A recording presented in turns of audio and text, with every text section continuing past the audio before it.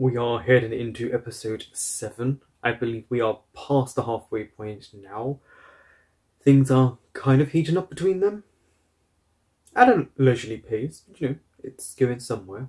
Don't forget to like, comment, subscribe, and share. I have to be honest, I didn't even know that episode ended. I thought maybe we had a couple more minutes. This seemed as if it was a slight confusion episode trying to gather your feelings.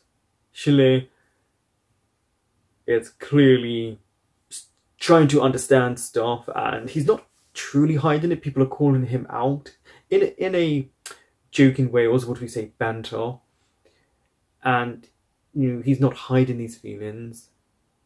Well, Chen, there's something going on, and I don't know if an an ex, the ex, has contacted him or he ate something wrong because he's itching and he's not feeling well. But he's been out of sorts the whole episode, and then that was kind of pretty sweet at the end. You could see them getting a bond stronger than it was before, but the little hug that he needs, he clearly likes comfort and hasn't had that for a while.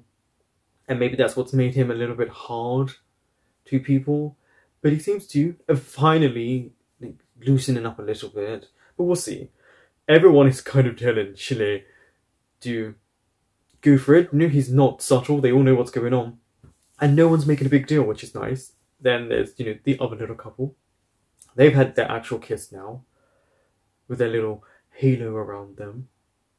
So hopefully things pick up for the main couple in terms of being able to communicate with one another.